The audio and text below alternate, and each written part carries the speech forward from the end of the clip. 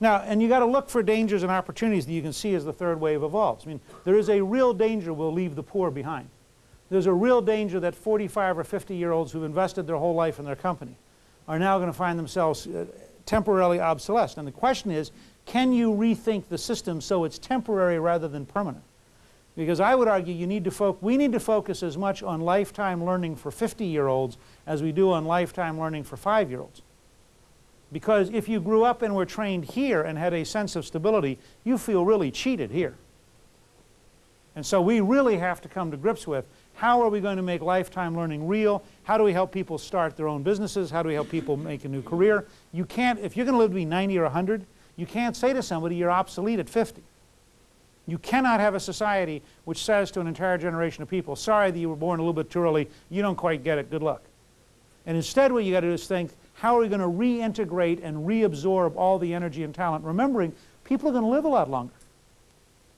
And that's going to have all sorts of implications on pension plans and retirement and what does it mean and how much you have to... To save all your working life to live for five years after retirement is one thing. To save all your working life to live 40 years after retirement is a different thing and probably unsustainable. Probably means that, that like, like Drucker, I mean like Drucker and Deming, that there's some level of activity involved for most of your lifetime because it's inconceivable that you can get people to save. I mean, the level of, of, of, savings you'd have to engage in in order to be able to, to retire for 40 years is, is going to be a very small number of people. And so, as all these changes occur, we've got to be open and available to rethinking. It also means that the same event can occur and one person can see an opportunity while another sees danger the, at the exact same moment.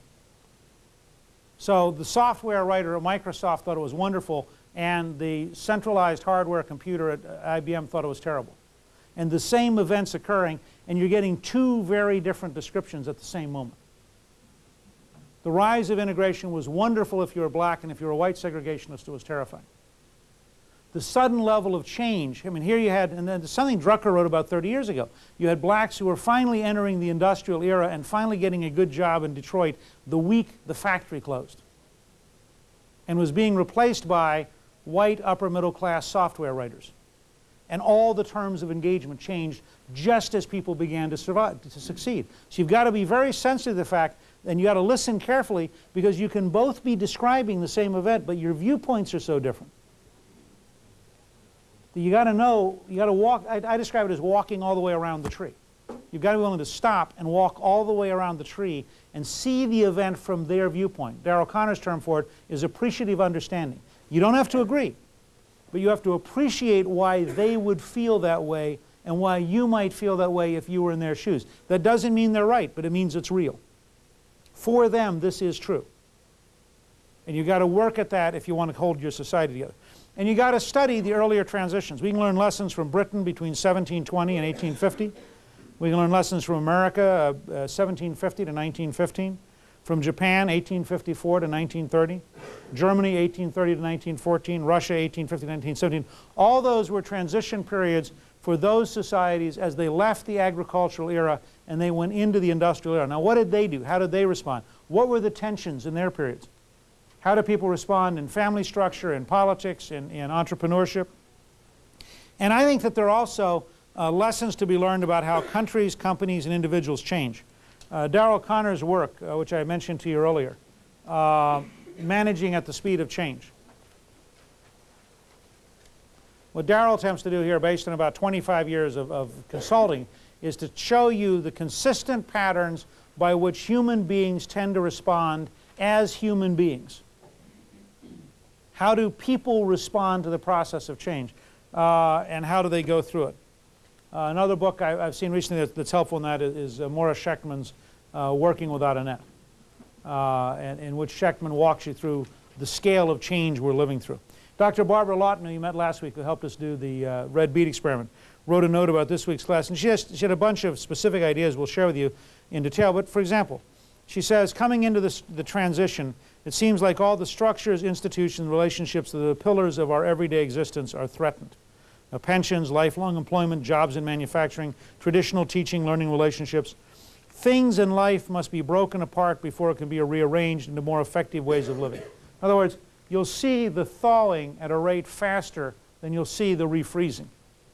So early on, the insecurity will increase, and the threat of tension to old institutions will increase. From numerous early experiments, successful patterns will emerge. This is a very important part of this. One of the reasons you want to decentralize is so you have lots of parallel experiments, and then, you, and then it's not like you can predict the winners, but you, you notice the winners as they occur, and you orient to the winners as they occur. Nobody in 1950 could have predicted McDonald's, but it's easy to find McDonald's at a later point. You suddenly say, wow, this must be working because you see more and more of them. As, as you saw more golden arches, it became pretty obvious. Now, she says, what it demands from all of us personally, it breaks our expectations about our future. We live within a framework of implied contracts, like if I do a good job and I'm loyal, my company is going to keep me forever. Well, what if your company can't? What if the whole world changes? What if the market replaces your product? Um, the change seems unfair. I've done my job, how come it's changing? But the objective fact is it's that big a world. There are that many things going on. She said we need the understanding to recognize that what we're experiencing is not someone else trying to cheat or deprive us, but is the result of our own collective actions. That is that the third wave is so huge that it's not about somebody else conspiring to take away your stability. It's about the world changing and us going with the change. It's sort of like being in the middle of an earthquake and saying, boy, I'll bet you know, the rich did this to us or the unions did this to us. Or, you know, no, it was an earthquake. I mean, the planet did it to us. And in a sense, the third wave is that big a change. It's a planetary change.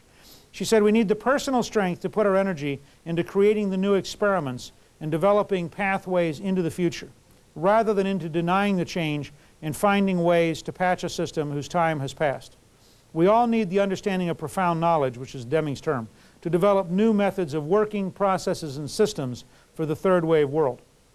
We must be active learners looking for the new patterns underlying the themes. And so I think this concept, one of the habits of the future will be that we have to all be active learners, that we have to take responsibility. And in the process of that learning, what I'm suggesting is that how we apply the five pillars of American civilization help us think through the process of change from a second to third wave civilization. Uh, remembering that the five pillars of American civilization are first the historic lessons of American civilization, second personal strength, third entrepreneurial free enterprise, fourth the spirit of invention and discovery, and fifth quality as defined by Edwards Deming. And what I'm suggesting is that we literally go back through and that you get a, a habit in your head when you bounce into a new situation, a new problem, a new opportunity of trying to apply all. Start with applying the historic lessons of American civilization to the emerging third wave information age. And here, what I would suggest is that you go back and you say, all right, how did we change the last time? Fulton's invention of the steamboat, the rise of the railroad. What, what was it like to go from the stagecoach through the Pony Express to the railroad? How did people adjust to those changes? What about towns that died because they weren't on the railroad? Towns that exploded like Atlanta because they were on the railroad? The importance of the railheads in Chicago and Buffalo. And you suddenly have a whole different pattern. Okay? Second, personal strength in a third wave information age. And it seems to me pretty clear that if you're going to make it through the, the, the, the freezing, I mean the, the rethawing and the refreezing, it takes a lot of personal strength. Uh, and, and those people who have the personal strength to be active learners, those people who are able to go out and actively do the right kind of things are going to face dramatically greater opportunities than people who get up in the morning and passively wait for somebody else to invent the future. Daryl Conner along that line has a model of change which I found very helpful in which he says that resilience is the key factor.